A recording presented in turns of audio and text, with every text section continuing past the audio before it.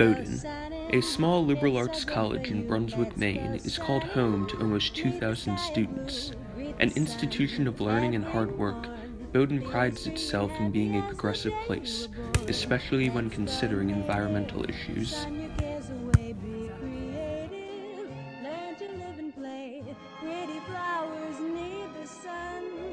This applies to everyone. Life's worth living when nature's giving happiness to everyone. So let's go. As a part of Bowdoin's long-standing eco-friendly traditions, in 2009, the college came together to officially organize and announce a plan to achieve carbon neutrality by 2020. Since the plan's creation, students have expressed and shown off their support, but just how much do the students really know about the plan? Um, I know that they have a plan to become carbon neutral by 2020. I know nothing about it.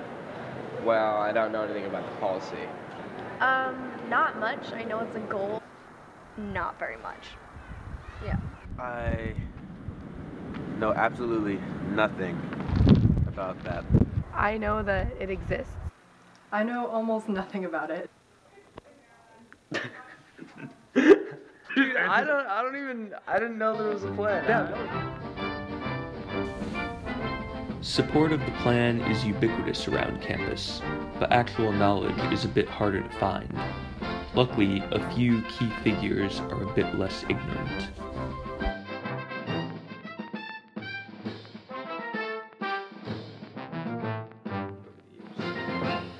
Being a historian, let me give you a little bit of background on it. The carbon neutrality plan came out of student activism. It came out of two students who are both environmental studies majors, Meg Boyle and Kristen, uh, Catherine Kirkland.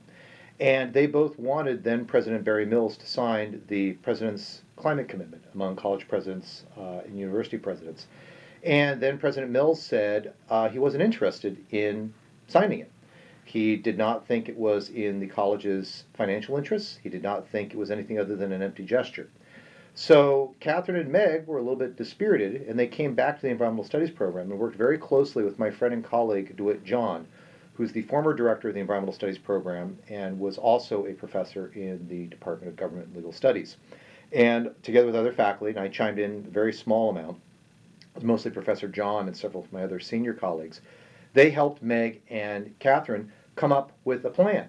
And then they went back to President Mills, and he was so impressed with the scale of research and the depth of analysis that they brought to it that he decided to sign on to the President's climate commitment. And that is the beginning of Bowdoin's climate neutrality plan. I wanted to give that background because it is critical to underscore that none of this would have happened had there not been student activism to prod the administration Despite Bowdoin's reliance on student involvement to reach its goal, in the nine years since the plan began, it has evidently become somewhat of a side note at the college, lingering on the periphery of campus life. Here's how things are looking today. So, we set an original goal to reduce our own source emissions 28% by 2020, and we are currently on track to try to meet that goal. Um, it's we in the last fiscal year, fiscal year 2016, we um, we have continued to make progress. We realize we have a fair amount to go to reach that 28%. So the ultimate question lingers: Will Bowdoin be carbon neutral by 2020?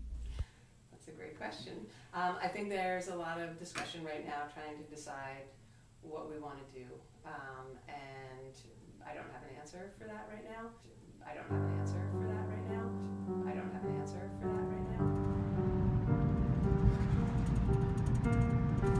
With the impending deadline of 2020, Bowdoin has come to realize that achieving carbon neutrality on their own may not be feasible. As a result, they have turned to some controversial methods of reduction. One of the biggest ways that Bowdoin plans to achieve their plan is by purchasing renewable energy credits, or RECs. Instead of cutting down carbon emissions within the college, RECs allow Bowdoin to pay for someone else's reductions in places off campus and away. obviously, to be legitimately carbon neutral would be superior to this buying credits um, to supplement. But I think that buying credits to supplement is better than not buying credits to supplement because at least you're doing something. So if it is completely unachievable to become carbon neutral, which due to infrastructure it probably is, or like like incredibly difficult, then I think it is better than to not do it. I kind of worry that carbon credits can disincentivize or kind of push off the creation of larger uh, renewable resource infrastructure or developments and um, can kind of push away the problem instead of really putting the onus on people in larger, uh, larger changes. Students may not be so fond of the college buying its way out of this commitment, but without RECs, Bowdoin might not meet its deadline, and the struggle to reduce could go on indefinitely. I think there's certainly a place for renewable energy credits. Um, you know, whether Bowdoin decides to go that route or not is um, is not up to me. But I think um, in general, if you get to a point where the cost of trying to reduce your emissions becomes so prohibitive, then um, purchasing RECs that is incentivizing additional renewable energy on the grid is can be a positive thing. So are RECs ideal? No. Dams have all sorts of problems. They kill fish. They increase water temperature. They uh, derange the uh, hydraulics of a river system. But comparatively, if you're going to achieve the commitment, then I don't think you're going to be able to avoid using RECs. RECs might not give Bowdoin students the storybook ending that they desire. In 2020, they won't be able to say that their campus is authentically carbon neutral. However, this is not the point. We share one world, whether it be on the campus of a prestigious liberal arts college in Brunswick, or a dam further down the Androscoggin, or a solar farm in rural Maine. It all has the same result. It will lower carbon emissions on a global level, effectively fighting against climate change and making the planet a better place. RECs are not picturesque, but they will get the job done. Well, the, the, the, real sad and blunt fact of the matter is the vast majority of people that attend school here probably are not going to see the results of not cutting back on their consumption or not cutting back on um, their contribution to uh, climate change. Uh, most people that live in the developed world, most people that are likely attending a place such as Bowdoin are likely going to be insulated from that. So I don't think they'll actually directly see that. I think what will happen is that they may see it later in their lifetime. Depending on where they live, they may see it more dramatically than uh, other people.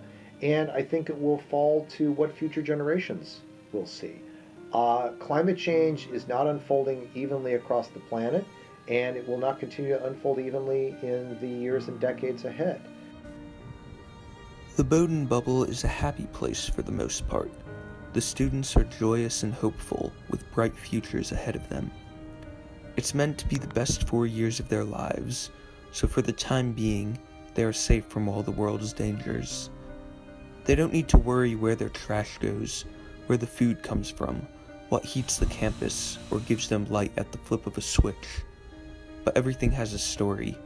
It all comes from somewhere and affects someone. Usually someone less privileged, in a place far away from Brunswick. Given their location and situation, it is no surprise that students don't feel the immediate effects of environmental issues.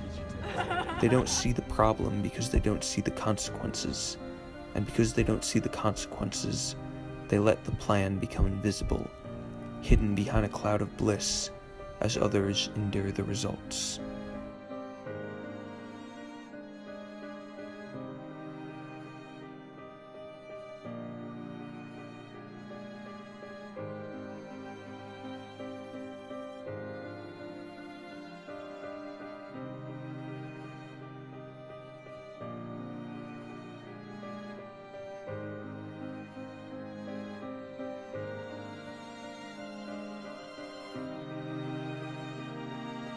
That's why I care about it. The environment, I have no idea what the hell the environment is beyond some large concept. But people, places, things, relationships, those are the things that matter.